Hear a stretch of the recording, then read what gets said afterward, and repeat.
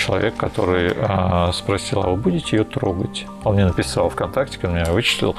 Я говорю, простите, что? Волнение, желание, желание обладания.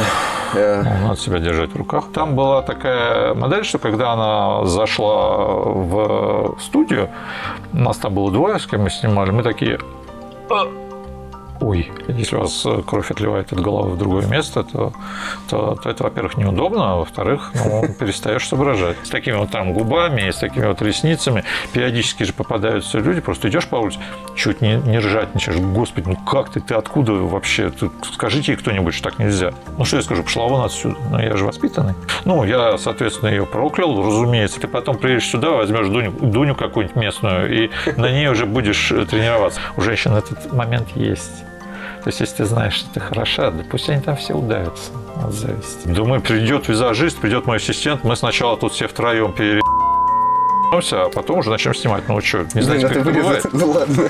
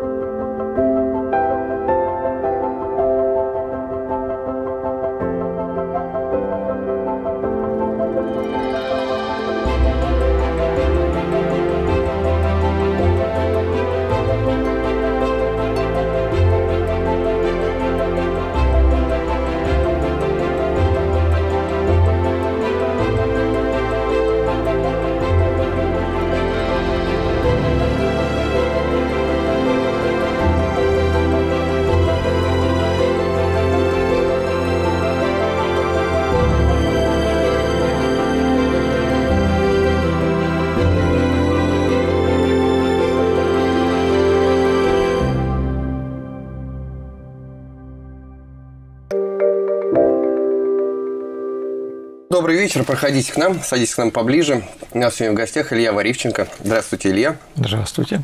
Господи, какой вот, вот, класс, вот жанр, да, вот смотри. Во-первых, мы с тобой на ты, э, я почему-то это автоматически значит, на вы. Во-вторых, здороваюсь, хотя мы с тобой уже, ну, в общем, как бы, да. будем попроще, ладно. Вот смотри, знаешь, какая история. Учились мы с тобой в одной школе. Я знаю, что ты закончил физфак. Поправляй меня, если что, если я не, не так. Нет, я физик по диплому а, в энергии заканчивал. А, в энергии, да. Инженер-электрофизик там. Да, а, значит, э, как бы ты успешный программист. И вот, значит, э, ну, я, я знал, что ты увлекаешься фотографией, но последние полгода я так э, уже не краем глаза, а стал уже всерьез смотреть за твоей лентой в соцсетях. Еженедельно ты выстреливаешь офигенными, значит, фотосетами в стиле ню. И как бы Э, ну, я уже могу, значит, пытаться назвать тебя ну, полноценным большим фотографом в этом жанре. Потому что ты говоришь, это мое увлечение. Раз уж ты меня да, программистом обозвал, я ничего не программирую. Ну, я айтишник, мы там строим облака, мы немножко не программируем. Ну, программируем, но это не то, что вот есть у нас программист в конторе, который сидит и программирует. Вот, это не я. Вот. А, но там есть очень хорошая была шутка про бесплатное программное обеспечение, что оно как секс, оно хорошо тогда, когда оно бесплатное, а не когда за деньги. Поэтому люди, которые за деньги вынуждены каждый день ходить и продавать свой талант как бы за денежные знаки, в конце концов, ну и выгорание есть. Я, чем хорошо? Я не хочу, я не пойду. А им надо идти на работу. Ну, результат вот бывает от этого плохеть. Может очень сильно. Ну, мне так кажется. Я не знаю, это их надо спрашивать. Так. Вот. А когда это не обязаловка, когда это удовольствие, пошли, поснимали, все хорошо, всем понравилось, разошлись, сам процесс тоже заряжает. Э, и вообще это не только не снимаю, зачем вы так. То есть да. Э, ты, ты хочешь сказать, что для тебя это продолжает оставаться неким хобби? Да, безусловно, это не то, что продолжает, это хобби и есть. Ну, вот некоторые там на рыбалку ездят, кто-то водку пьет. Вот, а у меня вот это вот ну, оно такое достаточно затратное, но заряжает хорошо. А когда это все началось? Вообще с фотографией у тебя? Ты же ну. застал эту эпоху наверняка бумажные фотографии, с, да, вот эти да, все. Да, темная комната, где-то класса, наверное, седьмого. Так. Первые фотки, которые у меня сохранились, и я негативы тут недавно сканировал, там на них написано седьмой класс. Мы ездили на турслет куда-то там, я что-то там начал, мне мамину смену отдали, я фотографировал довольно долго. Угу. Потом был перерыв, когда тут были 90-е годы, на улицах стреляли, да, да. мы ели один мешок с макаронами целый год, мешок кончился, кончились 90-е, и дальше опять вот это все вернулось.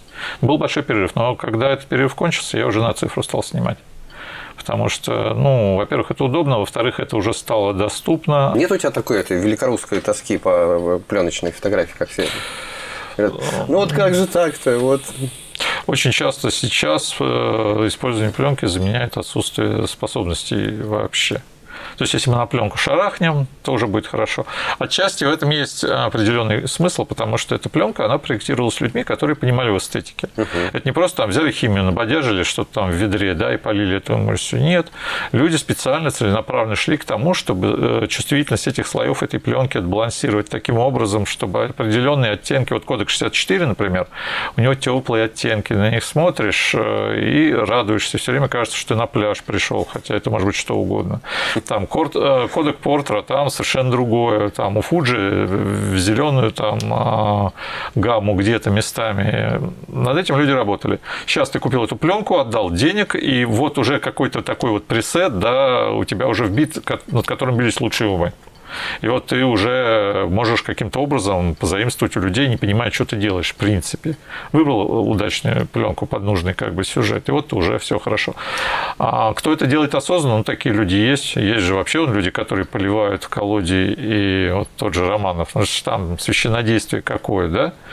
А вот это другое. А просто вот эту пленку, ну, сейчас и пластинок много покупают, ну, тоже приятно. Взял, да, поставил, ну, захрустело, ну, есть, да. заиграло, и ты вот, вот тебя также хрустел играл 30 лет назад. Ты рассказал эту тему, что с пленкой некоторым снимать э, как бы даже получается удобнее, потому что там заложены какие-то вот эти да, шаблоны. А, а я-то думал, что наоборот, как бы вот эта э, смена этой ментальности с приходом э, цифровой фотографии, когда, в принципе, ну, ты поставил кадр и можешь там тысячу кадров сделать, поливать, и там уже из него что-то выбрать.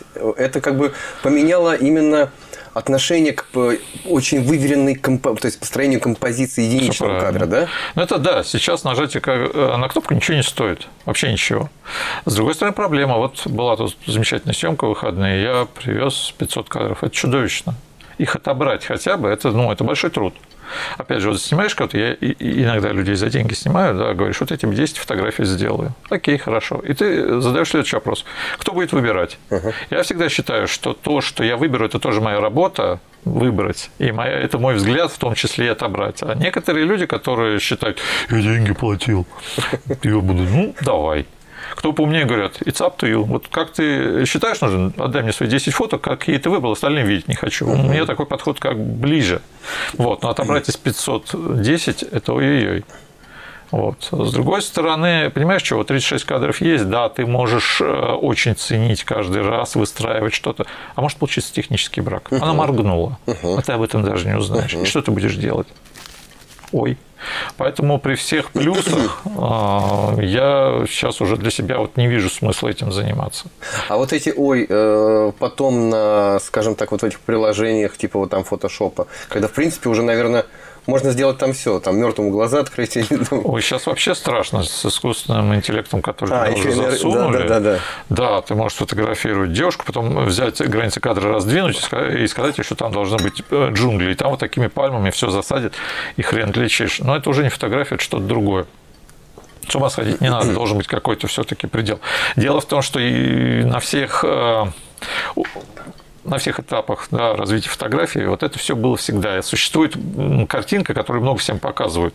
Это негатив с пометками Ричарда, по-моему, Авидон, могу ошибаться, меня поправьте, кто там лучше знает историю, где 20 разных зон для печати написано. Вот здесь сделать потемнее, здесь посветлее, вот здесь это убрать, вот тут затушевать, здесь размыть, а здесь почетче сделать. А чем это отличается от фотошопа, кроме да. инструментов? То есть да. там они да. при печати э, крутили, да. а здесь ты пером работаешь. Насколько ты э, ну, вклиниваешься в оригинал от исходник?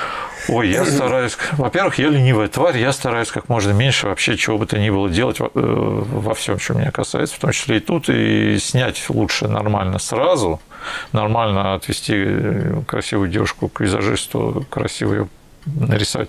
Буквально вчера, вот, да, даже сегодня утром, вот мне написали очередной, простите, идиотический комментарий. Зачем столько фотошопа на модели Ну, во-первых, там была такая модель, что когда она зашла в студию, у нас там было двое, с кем мы снимали, мы такие, «А, ой, ну, бывает вот такое, бывает совершенно, бывает такая идеальная кожа, бывает редко. А, вот. в этом смысле, ой, да. бывает в ту и другую сторону. Там, просто, там да. было ой в нужную сторону. Вот, вот она такая. Мы так постояли, говорю, ну что, ну проходи там, ты настоящая, ну да, иди сюда. Вот, и дальше мы работали. И когда а, уже результат отсматриваешь, ну там, во-первых, можно каждую фотку выставлять, но этого никто делать не будет, это ненормально. Править там ничего не надо, она реально такая. И вот мне сегодня утром пишут, слишком много фотошопа, все же ведь эксперты, да, причем да. так, с ленинским прищуром, это, да, многовато. У меня сразу вопрос, говорю, прежде чем писать такой идиотический комментарий, вы нам написали, а сколько его должно быть, а как мы его будем мерить, чтобы вы успокоились и пошли дальше, если вам что-то не нравится, да? Ну, так с людьми вроде не принято разговаривать. Э, в лучшем случае просто это удалить, сказать, ступай с Богом. Все. Вообще, в последнее время какой-то шквал нездоровой критики. Ну, во-первых, я связываю с тем, я, что я осень. тебя, да. Да, осень. Это тоже интересный жанр. Весна еще хуже. Да, потому что людям хочется на ком-то вызвериться. С другой стороны, может, потому что цепляет, я не знаю. Да. Ведь меня, не прошли же мимо. Меня не волнует, что они пишут. Да. Я просто вцепился в микрофон. Меня волнует то, что девочки, которые это смотрят, они существа ранимые, да. могут по-другому. Я вот с этой э, точки зрения, если бы я точно знал, что они бы этого не видели, я бы еще и бы ответил комментаторам таким образом, чтобы они потом больше сюда не ходили. Ты помнишь свою первую нью-съемку? Ну, или, или условно ню? Ну, то есть, помню, она, наверное, да. может, наверняка она была не целиком обнаженка. Будешь смеяться, помню, была целиком, да, была. Ну, пришла девушка, которая знала, что хочет, нам повезло, она целенаправленно на это пришла. Вот эти все идиотские истории, давайте кого-нибудь в процессе разведем там. Да, как да, раздеть девушку 50 на 50 граммов да. накапаем, вот она вот не надо заниматься ерундой. Вот, это, ну, ничего хорошего не будет, это сразу хочу сказать. И нам повезло первый раз э, пришел человек, который знает, что хочет, пришел человек, у которого все хорошо, потому что бывает, что люди хотят не съемку, а ты на нее смотришь и думаешь, ну, я не смогу это сделать хорошо, можно я пойду по, на диване полежу, а вы там пойдете в другую сторону.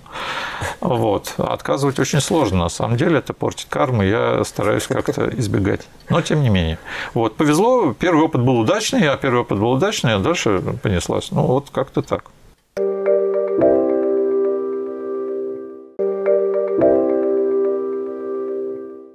Вот понятие красоты, это же как бы вкусовщина? Абсолютно. Или, или нет? Абсолютно. Ну, ну, просто говорят же, например, есть некие, некая икона стиля или эталон красоты каждой эпохи. То есть он меняется. Безусловно. Ну, вообще, у меня есть универсальная цитата, я всем говорю, я тебе скажу, я пришел сюда, чтобы ее еще раз сообщить. Это у Пелевина про красоту, знаешь, да? Я, по-моему, говорил, что красота – это не свойство женщины. Просто в определенный момент э, ее жизни она ее отражает так, как окна домов отражают солнце, которое встает сзади нас. И красота не увядает, просто солнце Класс. ушло дальше, и оно отражается в окнах других домов. Все. Вот, вот это абсолютно объясняет, эта аналогия объясняет все, включая, например, любую аналогию же можно брать и начинать ее крутить с разных сторон. Можем крутить дальше. Есть люди, которые э, в течение жизни, я вот снимаю по 13, по 14 лет уже одних и тех же, допустим, девочек, потом выкладываешь и спрашиваю, тебе сколько? Ты что, спишь в холодильнике? Ну, вот бывает ага. такое. Понимаешь, если продолжать эту аналогию, ведь сам понимаешь, что ты можешь где-то присесть, можешь как-то наклониться, и солнце будет э, все еще отложиться в том зеркале, э, в том окне, к которому ты привык, чтобы оно отражалось. Да, да. Это уже зависит от тебя. Да. Вот. А может, это, интересные изменения? Это работает. Вот. Ага. Под разным углом, где-то подпрыгнуть, где-то чего-то, а не то, что я шел вдоль улицы и тупо пялился. Тут твоя работа вот как раз и появляется. А есть какая-то зависимость? Вот, ну, то есть красота, она связана с некой ну, безупречностью торсов, что ли? То есть, ну, какой, каким-то стадией молодости кожи, как ты говоришь, вот там. Ой, вот, это, вот это да. технический вопрос. Это просто вопрос, э, сколько времени уйдет, чтобы сделать хорошо. А по поводу красоты как таковой, есть еще такая концепция у японцев ваби-саби. А, это мировоззренческая концепция, которая предполагает, э, во-первых, то, что все несовершенно, да. что все не закончено и что все не будет продолжаться вечно. Uh-huh. Если вот как бы над этим подумать, вот я, я голосую за все три. Вот, да. Каждый раз, когда ты смотришь, вот думаешь, вот именно в этот момент, именно сейчас вот оно. А, даже вот э, если на видео записать, как у нас съемка идет, я снимаю, снимаю, снимаю, потом вдруг ору, замри, она, вот, вот я это увидел, вот мне солнце отразилось в глаз, вот я, вот, вот я три кадра сделал, все, отдыхаю, мы это сняли 10 минут все отдыхают там, допустим, потом опять мы начинаем искать вот этот угол, где-то что-то, кто-то повернулся, кто-то взглянул, раз, и все. И это можно, этого можно добиваться по-разному. Вот та съемка первая ню, которая была, там девушка была, она пришла, да, она пришла раскрепощенная, но а, был момент, когда что-то начало морозиться, и у меня возникла идея, как ее пугануть. Я взял бутылку и бросил в угол, она там разбилась. И она такая повернулась в этот момент, и в этот момент там самый лучший кадр получился, мы ее сняли. Офигеть, тебя методы. Ну, я же не в голову запустил, в конце концов, да? Вот, то есть надо искать какие-то такие вещи. Поэтому я вот разговариваю тоже с моделями. Хорошие модели, они, особенно как бы из Москвы, которые приезжают, они же с кем только не работали. У всех э, манера разная. Некоторые вот просто говорят, ну что, ну поверни. Ну, поверни. Uh-huh. ну это скучно. Я говорю, я говорю, не знаю, что делать. То есть я знаю, что делать, я не знаю, что он хочет. Вот у нас как-то это все поживее проходит. Хотя я, в принципе, ну, постоянно ору, и так, э, возможно, это как-то со стороны выглядит не очень хорошо. Но, в принципе, по итогам все довольны. Я у тебя не видел э, женщин, скажем так, бальзаковского возраста, там. Ой, слушай, ну вот тебе пример. Я тебе могу присылать, показать. У меня визажист была совершенно замечательная, с которой мы делали вот первую мою выставку, Маша. А она из многодетной семьи, вообще из родников. Uh-huh. Их там пять или шесть человек. И она ко мне однажды приходит, говорит, а ты мог мою маму сфотографировать? Я так напрягся. Ну, думаю, сейчас предстоит субботник как у ментов субботник, да. вот у нас тоже бывает субботник. Есть такое слово «надо». Да, да, да. Я такой, ну, приводи. Приходит женщина, она тогда была моя ровесница, а мне там было 30 там, с чем-то. А женщина так за 50. Я увидел, думаю, да нихера себе, он это точно мама? Он говорит, да. И не то, что она так выглядит, как вот это, а просто красивая. Вот в свои там 50 с чем-то лет, э, обалдеть, я тебе просто покажу. И я тогда снял, говорю, Маш, ну предупреждать надо тоже. Ну что, как я? А я пришел так, это, знаешь, на полчаса, думаю, сейчас мы тарабаним, ну что я да. Я поставлю. Да, да, ей хорошо, я вроде тоже отметился, и мы разойдемся. А в результате это вылилось то, что я там везде выложил потом и так далее, и так далее. Так э, женщина пять человек или шесть воспитала там это в, тоже не в одно лицо. Нет, не, а, нет, это был портрет. Я, да хватит ага. уже, я портреты да, да. снимаю. Я, я знаю, что ты снимаешь портреты. уже вот это все. У тебя с твоими айтишными мозгами, а это принято считать, что это как бы точные науки. Угу. А, это, это больше как бы в техничность и ремесло, или, это, или этого позволяет и поэзия? Слушай, техничность, тут э, технические как бы навыки экономят время просто при обработке и так далее. Мне не надо объяснять, что угол падения равен углу отражения, да, угу. когда я цвет выставляю. А вот, э, это просто вот те технические моменты, я знаю вот одного, например, человека, который очень хорошо снимает, но технически он ну, вообще никакой. И у него из-за этого пропадают кадры ценные. Мы тут снимали, он говорит, слушай, а что-то у меня фигня. Я говорю, смотри, вот у тебя среднеформатная камера за миллион, у тебя выдержки длинные, у тебя просто это размывается. Давай поставим на штатив. Давай. Вот такие, ну, человек не от этого, а зато он видит красоту, вот он видит. Но вот этого не хватает. Я, по крайней мере, могу срезать угол где-то, я могу сэкономить, я знаю, что вот это, когда бывает, знаешь, когда смотришь, говоришь, ребят, у вас сегодня ничего не выйдет. Идешь э, есть у нас такой магазин в твоем доме с торца. Вот сейчас там наконец-то студия красоты, до этого там сколько магазинов сменялось. И вот идут, они идешь, они вешают вывеску, как хочешь сказать, да вы ее сильно не приколачиваете, и потом будете снимать, увозить мебель. Вот. И вот так и тут, когда видишь, ну, у вас же ничего не выйдет, ну, прекратите вы это все. То есть на это можно сэкономить. Все-таки фотографии так, есть там здоровый такой технический кусок, Потому что если вы сделаете замечательный какой-то снимок, там будет не резко темно и плохо видно предмет, угу. и если это не ваш замысел, а вы хотели, чтобы было хорошо, резко и было видно, угу. а вы не смогли, то это пойдет в помойку. Хотя бы на этом можно сэкономить. А наоборот, бывает, когда технически прямо совершенный снимок, а, а, а, а так скучно. Тоска. Да, Сейчас таких очень много развелось. Когда смотришь, люди ходят на мастер-классы, вот есть Виноградов, отлично снимает, но потом есть куча клонов Виноградова, которые сходят, он, видимо, умеет объяснить, то есть человек может дать.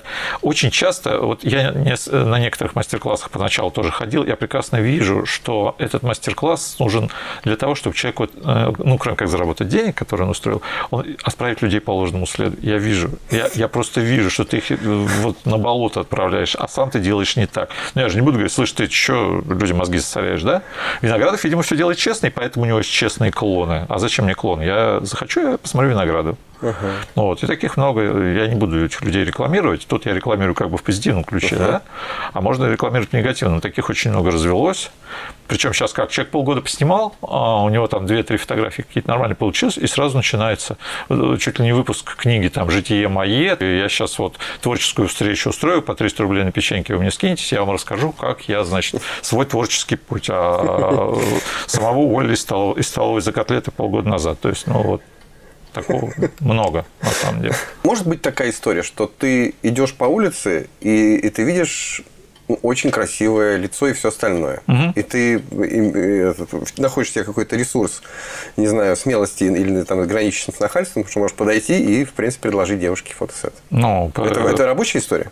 Начнем с того, чтобы оценить все остальное, это надо на пляже сидеть. А все, очень часто угу. человек приходит, и ты не знаешь, насколько все хорошо. Угу. И это бывает иногда очень приятно удивляет. И ты думаешь, Сюрпризы бывают в другую сторону. Да, да. Угу. Сюрпризы в обратную обратную сторону были очень редко. Я очень тщательно стараюсь э, выбирать до того момента, когда я пойду на контакт, потому что после этого уже какие-то обязательства возникают. До того, как я не высунулся из этого окопа, мне в голову точно ничего не прилетит. Вот. У нас буквально пару раз была да, история, когда я посмотрел, девочка хорошая, а девочка, я так понимаю, это были вообще не ее фотографии. Кто-то в наглую, она приходит, я, ну что я скажу, пошла вон отсюда. Ну я же воспитанный. Я говорю, постой, я сейчас вышел на улицу, там березку обнял, подышал, там вернулся, думаю, это вызов. И сделал все-таки три фотографии, сделал нормальные. На это ушло два часа. Она ушла счастливая, она, наверное, так и не поняла даже, чем дело было. Я пошел спать и думаю, господи, спасибо, что это так редко бывает. Вот. Очень тщательно стараюсь вот в такой не вляпаться. И есть неадекватные люди, которые считают, что можно даже вот буквально чужие фотографии сунуть, а потом, ну куда он денется, он уже приехал. Uh-huh, uh-huh. Вот. Поэтому аккуратненько надо. Соответственно, и подойти на улицу. Ну, что она мне сделает? Выстрелит в голову? Ну, нет, нет, нет да. Мне скажет, пошел. Как в том анекдоте про поручика Жеского. Ну, говорит, по-всякому бывает. Но если ты не попробуешь, то точно ничего не получится. А тут вот возможно, варианты, почему бы и не попробовать на самом деле. Ну вот если процентаж э, согласий и... Э, а я не... теперь очень аккуратно, еще раз говорю, выбираю, и с э, ростом как бы опыта ты начинаешь приставать к тем, кто, скорее всего, отзовется. Угу. Вот, то есть меньше расход боеприпасов и точнее попадания. Вот вся разница. С другой стороны, раньше менее нагло и меньше приставал вообще. То есть, ну, тут баланс какой-то есть.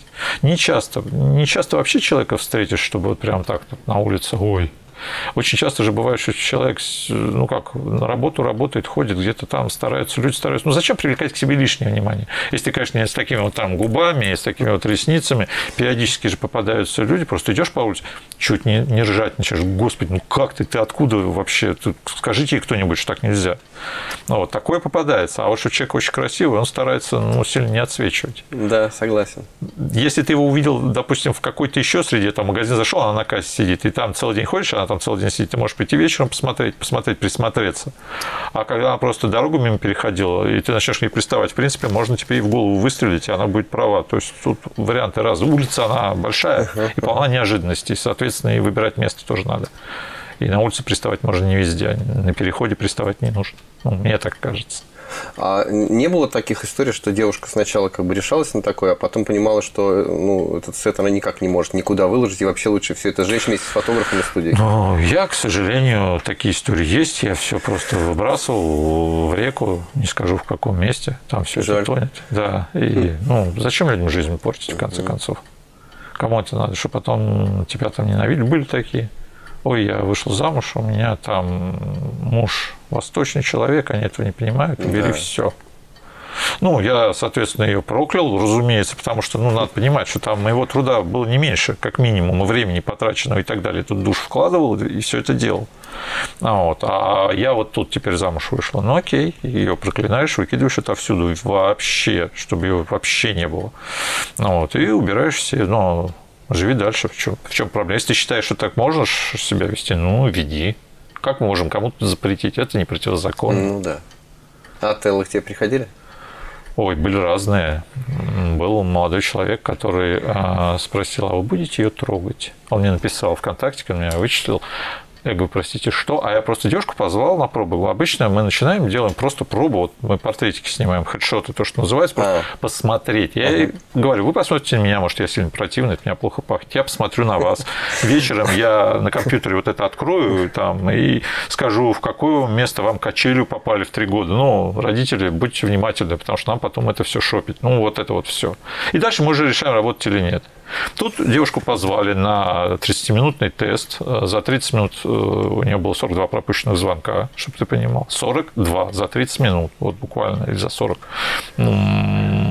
Так-то и хочется сказать, господи, какие высокие у людей отношения. Потом мне этот мальчик перед этим, значит, спрашивал, будете ее трогать? Я говорю, думаю, придет визажист, придет мой ассистент, мы сначала тут все втроем пере а потом уже начнем снимать. Ну что, не знаете, как это бывает? Ну ладно. Так. Ну, потом мой следующий был вопрос, а вы, барышня, кто? Вы муж, опекун, отец, там, старший брат, вы кто вообще? Ага. Я ее молодой человек. Я говорю, нет такого понятия статуса, статуса молодой человек. Иди, молодой человек, куда шел. Ну, такие бывают. Но опять же, я стараюсь людей не дразнить. Если у нее такой молодой человек, э, я просто сразу скажу, девушка, вот у вас, возможно, будут проблемы, может, ну его нафиг. Угу. Я, мне вот эти приключения нахрен не нужны. Угу. Я пойду по базару и куплю что-нибудь другое, а вы со своими помидорами угу. тут стоите.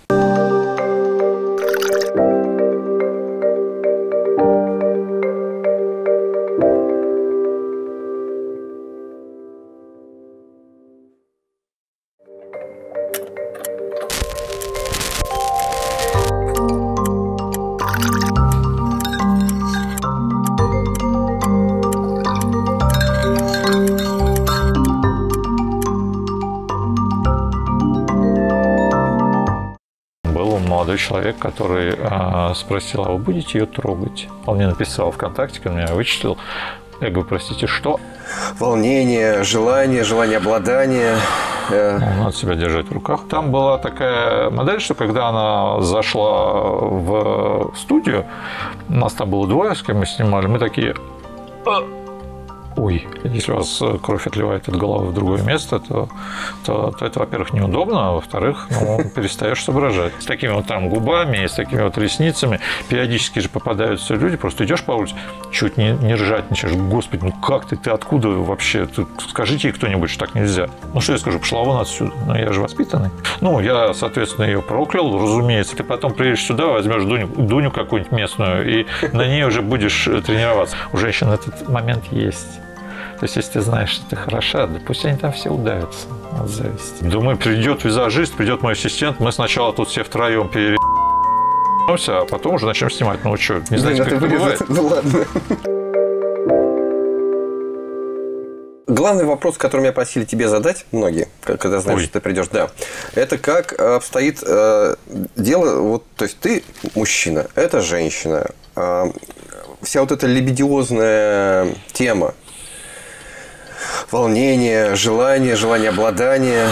Э. Ну, надо себя держать в руках. Я понимаю, ну как бы это все. Или, или ты у тебя врачебная. Ты к докторам приходишь, они же не все пытаются вот я говорю, обладать. Да, да, да, да, да. Надо отключать это как, каким-то образом, потому что иначе вы ничего не снимете. Если у вас кровь отливает от головы в другое место, то, то, то это, во-первых, неудобно, а во-вторых, ну, перестаешь соображать.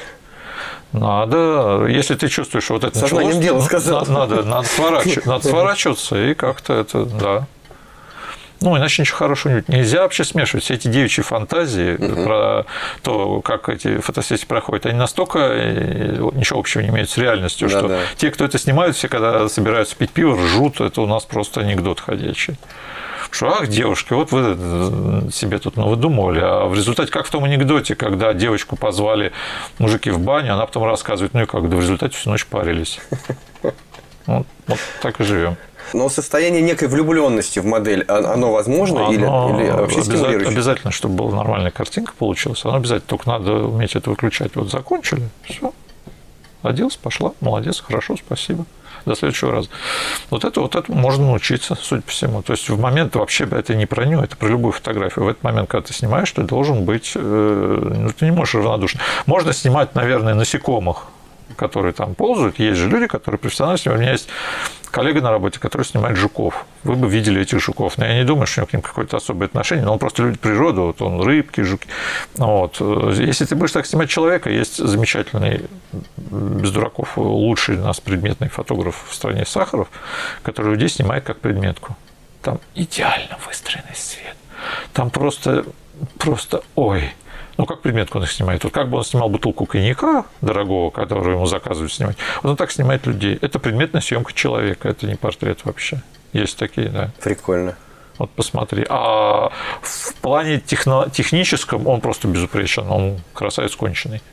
Но когда людей ты просто смотришь, ну вот хорошо сняли, как вот э, навозоразбрасыватель бы ему привезли, да, помыли его, поставили, осветили. И вот так же вместо навозоразбрасывателя пришел человек, его поставили, осветили, и сняли. То есть эмоций никаких, но красиво. Вот по поводу красиво. Вот эта формула э, красиво снять или снять красивое, то есть увидеть красоту. Красиво снять, конечно. Снять красиво любой дурак может. Если взять красиво. Ну, не любой дурак, кстати. Вот ну, не может любой. испортить, да. Но у меня есть такой комплимент, который я всем говорю, он уже, наверное, всем надоел, что есть девушки, которых трудно плохо снять. Ну, трудно. Вот есть такие, которые... Это уже надо облажаться прямо вот во всем. Вот. Есть профессиональные модели, которые просто не встанут в такой ракурс, который невыгодный.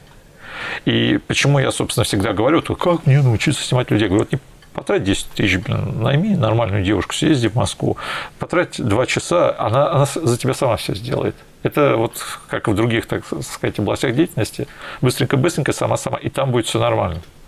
А там кнопочку понажимаешь, ты посмотришь, как надо, ты потом приедешь сюда, возьмешь Дуню, Дуню какую-нибудь местную, и на ней уже будешь тренироваться. Хорошо, если есть на ком.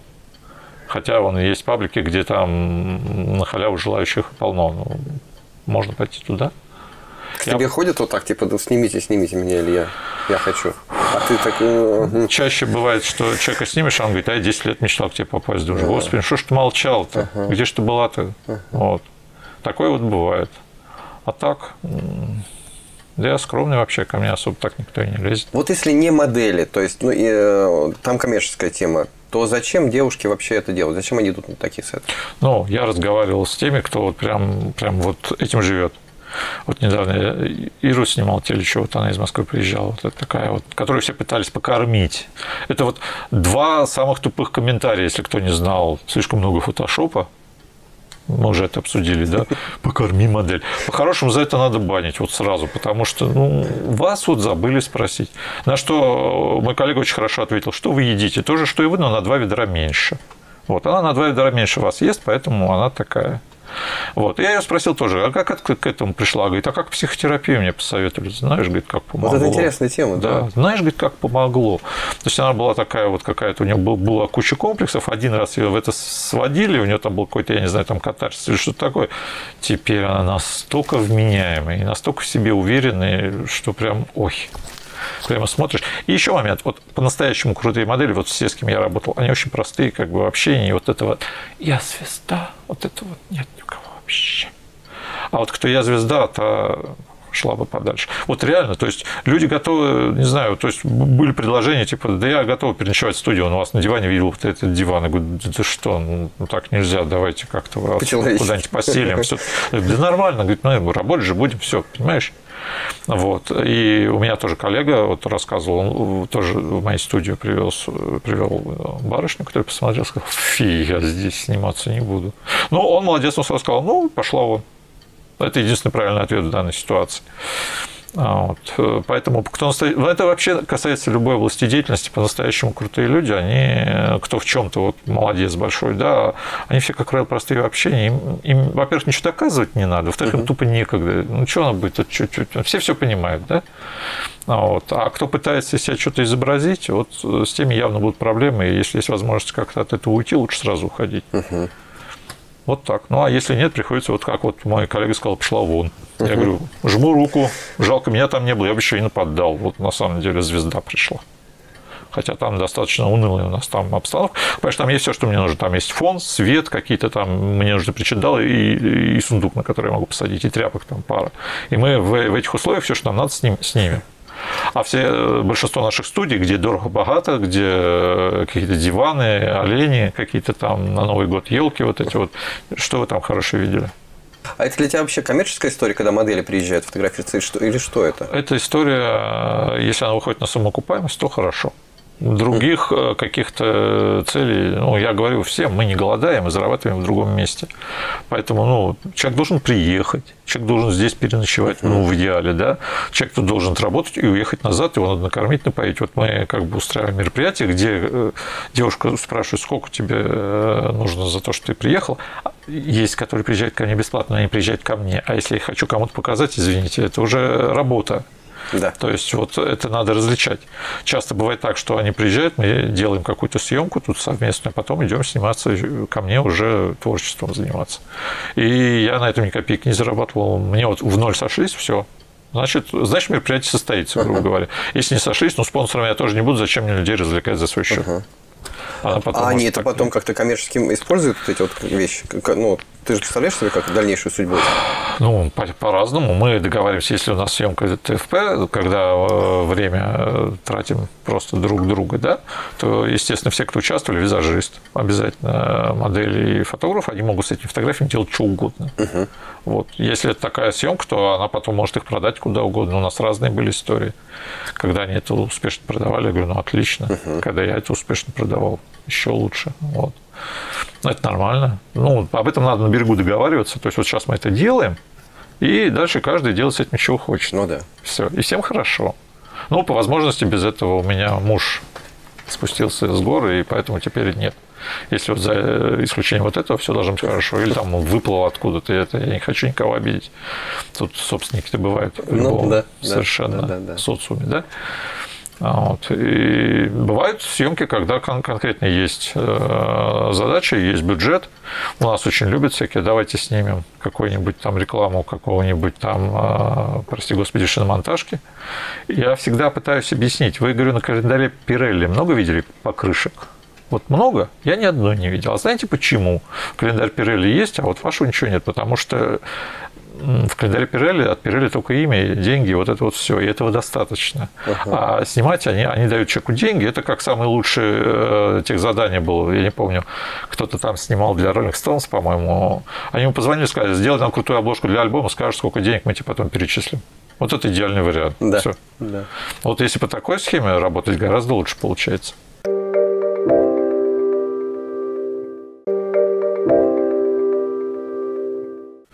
Вот если модели, они примерно представляют себе, как себя вести на съемке. Как ты работаешь э, с непрофессионалами? Ну, потому что там бывают такие замысловатые позы, руки. Осторожно. Да. Ну, во-первых, нужно э, объяснять э, уметь э, объяснить, что ты хочешь. Потому что трогать не надо никого руками. Uh-huh. Ты, я и не любитель, я сам не люблю, когда меня трогают и лезут ко мне как бы слишком близко. Хотя мне тут один тоже товарищ, который, в принципе, грамотный, а чего ты так все снимаешь на длинном фокусе, надо ближе лезть в модели, там, нарушать ее личное пространство. Говорю, я не хочу. Ну, для нее же это как там, я говорю, не знаю, чего это для нее, но я не хочу и не буду, все, отстать uh-huh. меня. Uh-huh. Вот, а, соответственно, очень осторожно, ты понимаешь, что в любой момент можно вообще все это поломать, атмосферу, да, объясняешь, что тебе надо. Крайне редко, я говорю, можно я вот тебе вот волосы это поправлю, руки я помыл. Я всем так говорю, потому что, ну, мало ли, демонстративно их помою еще перед этим, потому что, ну, я не знаю, люди разные бывают. Может, у нее АКР, и у нее сейчас пена изо рта пойдет. Такие случаи тоже могут быть. Вот. Э, аккуратненько, аккуратненько, аккуратненько. Опять же, надо сразу договориться на берегу, чем мы собираемся заниматься, какие мы картинки снимаем. Нам показывают референсы, мы собираем какое-то а, количество картинок, там то, что сейчас модно называют moodboard, да, вот эта вот картиночка, на которой натырена идея из других. Говорим, вот будем снимать примерно это. И все же примерно на это настроились. Пытаться копировать совершенно считаю нормально, потому что вы все равно не скопируете. У вас все равно будет э, через все это будет проступать в вы. Ну, конечно. Поэтому вы можете смело прямо пытаться, даже вот грубо пытаться содрать. Вы не сдерете. По поводу табуированности вообще вот э, обнаженного тела. Ну, то есть, вот есть какие-то так завелось, да, как что есть какие-то участки тела, которые, ну, принято считать э, запретными, э, ага. да, как, какими-то особенными. Вообще, как, как у тебя отношение к э, свободе обнаженного тела? Ну, я считаю, что если человек э, все нормально, в том числе и с головой, то почему нет? А, есть тоже одна умная женщина, правильно сказала, было бы, вот глядя на одну из таких фотографий, было бы у меня такое тело, я бы нагишом по городу ходил, пусть они все завидуют. У женщин этот момент есть. То есть, если ты знаешь, что ты хороша, да пусть они там все удавятся от зависти. Ну, есть вот это вот. Мужиков меньше выражено. Я когда вижу хорошо прокачанных, я думаю, ну, молодец, сколько он в спортзале времени потратил. А них вот... Там же, в принципе, может как? Может быть пятерка папе с мамой. Вот часто спрашиваешь, ты чем занимаешься? Я ничем не занимаюсь. Я ем что подряд. А я вот такая вот. Ну, вот бывает. И если человек этого не стесняется, стесняться надо у роста какого-нибудь. Если это какие-то зловонные язвы, то, наверное, их не надо всем показывать. Или у тебя горб, или там чего-то, да? А если это все красиво, извини, в Древней Греции там бегали, они там нагишом да, на, на Олимпиадах, и ничего, никто не жаловался хотя статуи все были одеты, и там, кто первый нарисовал эту Венеру, там сбегались все смотреть, эта же история, она известна. Но вот опять же, это все условности. Условности, конечно, Если да. бы э, было бы не принято показывать руки, ты представляешь, как бы Я, я о чем и говорю, Ты достаешь да, перчатку, да, начинаешь да, медленно да, с ней, там да, все да, уже... Вот это вот все. Просто мы договорились, что Можно назначить любое другое, э, как бы, да. Хоть ухо, хоть что. Что угодно. Поэтому ухи тоже разные бывают. Условности не надо на этом сильно так концентрироваться. Некоторые ходят замотанные с ног до головы. Ну, как считаешь, вот эта нормальная тема, она рабочая? То есть, она, например, может быть, она работает на сексуальность, на ну, кто-то, да, кто-то ходит на мастер-классы поглядеть на красивую женщину, а с другой стороны, где они еще увидят? Да. человек прожил всю жизнь, ни разу не видел такое, что прям... Ну, почему нет? А если, с другой стороны, ну, у женщин, у красивых особенно, эксгибиционизм нередкое явление, на самом деле. А почему вот э, мужики не стесняются там интеллектом блистать? Вот мы с тобой можем сесть там и начать тут э, упражняться в остроумии. А они вот могут показать вот это вот, вот ну, у кого чего, какие достижения. Почему, почему мы не стесняемся? Ну, я часто тоже стесняюсь умничать, потому что могут, во-первых, дать по лицу, а во-вторых, ну, мало стало с кем, а, мало кто оценит. Тонкое искусство оскорбления, оно утрачено, и даже вот в интернете пытаешься, думаешь, ну вот уж я тебя махнул, а он не понял. Uh-huh. Думаешь, как это, товарищ, начинаешь звать на помощь, говорит, посмотрите, ну, ну, я же его размотал вообще, ну, как так, там, кровь кишки. Все такие, ну да, а он, а он ничего, он не понял этого. А вот. Э, с красотой то она как более доходчивая. Там все-таки животное какое-то остается что-то у людей. Да, да, там да. мужичок, там вот это все там под корой что-то осталось с миллиона лет, он видит это красиво. Угу. Какие у него при этом в голове мысли, лучше и не знать. Но кого это волнует на самом деле? Вообще у любой женщины в какой-то период времени, я считаю, есть потребность показать себя, вот, вот uh насколько она хороша. И это совершенно естественно. И почему из этого делать что-то вот такое вот неприличное и так далее? Это христианская культура, мягко говоря. Спасибо большое. Да. Но выдумывали тут всякого. С мужской фото, с фотосъемкой Нью. Что у тебя? Приходила один раз девушка, которая пришла со своим мужиком, или не со своим мужиком, я паспортов не спрашиваю. Uh-huh. Они были настолько хорошо, они сказали, а мы хотим парную съемку. Она его сама там каким-то маслом намазала. Это был приватный, я это никуда не выкладывал, но я тоже любовался. Вот есть, ну, есть люди перекачанные, а есть люди просто проработанные. Это античный бог просто. Ну, бывает. И я понял, почему она его привела. Ну, черт возьми, тоже где-то надо этим похвастаться. Да, да, да. Ну, вот они оба были настолько хороши, что просто ой. Отдельно мужиков, отдельно мужчин мне интереснее снимать портреты, потому что у людей взрослых э, на лице много чего интересного можно прочитать. Когда приходят мальчики 19 лет, говорят, я хочу себе портфолио. Я говорю, ну вот идите вот туда или туда куда-нибудь. А почему? Я говорю, я плохо сниму, я вас не хочу, вы мне не интересны. Но я же не буду это говорить.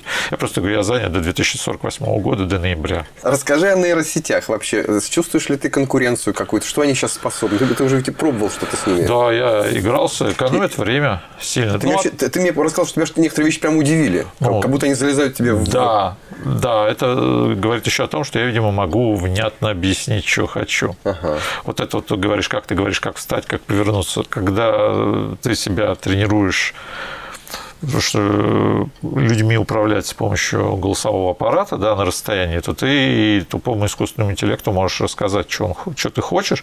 Несколько раз меня это напугало, потому что думаешь, господи, ну так нельзя. Ну, уже вот большие да, лингвистические модели дошли до того, что они могут за тебя очень много понять. Ну, если ты им внятно говоришь, если будешь мечтать, нарисуй мне бабу на ногу, чтобы... Не, он, конечно, нарисует, но это будет страшненькое что-нибудь. А когда ты вот пытаешься более подробно, там вот такой вот контекст ему дать, и он это проглотит, он может выдать очень хорошо. А я пользовался, когда у меня была подписка, сейчас я отменил, тупо жалко денег, и понимаешь, когда она капает, как бы хочется все время что-то делать, даже когда не надо. Ну, типа, такси тикает, давайте по городу кататься. Uh-huh. Вот. А когда я это делал, я делал мне как референс. То есть я объясняю, что я хочу, оно мне нарисует, и мне потом проще людям показывать, сказать, давай вот такую будем снимать. Вот это да, это хорошо. В фотошопе сейчас многие вещи. Я а, сотрудничаю с конторой, которая делает, а, с людьми, которые делают плагины а, для ретачинга. Я им свои фотографии давал, они на них учили uh-huh. этот искусственный интеллект. И сейчас, допустим, когда я открываю картинку, я, ну, они мне, естественно, эти плагины подарили в качестве компенсации, да, я просто говорю, сделайте мне хорошо. И вот эти все прыщики, вот эти, иногда она на первых версиях могла удалить пупок, но за этим надо следить. А все остальное оно не перефотошопливает, оно именно так делает, как надо. То есть искусственная фактура, то есть естественная фактура все остается, а вот эти все прыщи, которые завтра все равно не будет, они все уходят. Да. А вот. Э, был опыт интересный очень с одной иностранной конторой, которой э, нужна была девушка в качестве модели для их искусственного интеллекта, который э, искусственный ассистент. Они мне потом показали, что получилось. Ну, обалдеть, конечно. Когда... Что это такое? Ну, это в телефоне у тебя живая девушка, которая, с которой можно разговаривать. Такой чат-бот. А, они в качестве прототипа да, взяли? Да, они взяли в качестве прототипа. Вот приезжала Ира, как раз один из ее приездов был вот на это вот. Мы ее снимали по их референсу, после чего они мне прислали приложение, сказали, вот смотри. И там действительно это Ира, и она там совершенно замечательная. И то, чего мы не снимали, угу. ну там очень хорошо, мне понравилось. И вот люди этим такими вещами занимаются.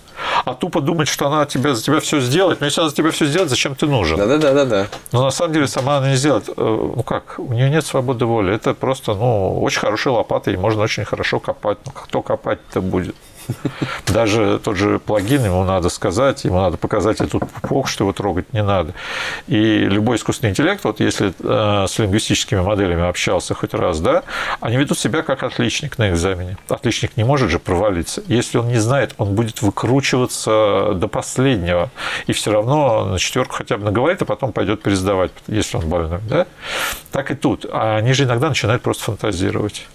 Если ты уверенно спросишь, э, что расскажи, э, за что получила вторую звезду героя Алла Пугачева, он по вопросу поймет, что она, видимо, ее получила, и тебе расскажет, почему. Вот можете провести этот эксперимент, и там такое его несет. И проверяй, а кто проверять-то будет? Ну, как бы мерило все это дело человек, да? Вот, соответственно. Спасибо тебе большое за хороший разговор. Спасибо. Пожалуйста. У нас в гостях был Илья Варивченко. Приходите к нам еще.